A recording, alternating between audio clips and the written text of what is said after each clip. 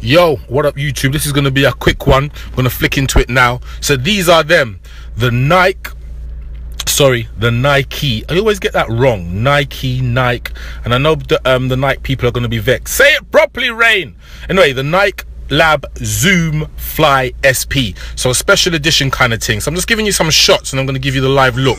Now what these are supposed to be the trainers that make you run faster.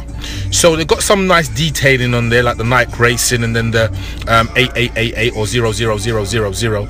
Um, some go faster stripes and all of that business. They are quite light in hand, but I don't think, like, you know what it is? They're supposed to have this um, smooth responsive kind of i think it's a carbon fiber or a carbon infused nylon plate which is supposed to be in the sole which actually makes you feel like you're going to run faster or actually makes you feel like you're going to move.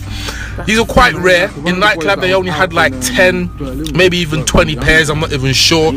But i don't know. I don't know if they're any good. If anybody picked them up let me know. This was just a quick look showing you some of the details of the actual shoe or trainer. Let me know your thoughts. Do you like them? Can they be worn on road or is it just for tearing down, running up, running from police or whatever it may be? Anyway, Rain the Mask, I'm out.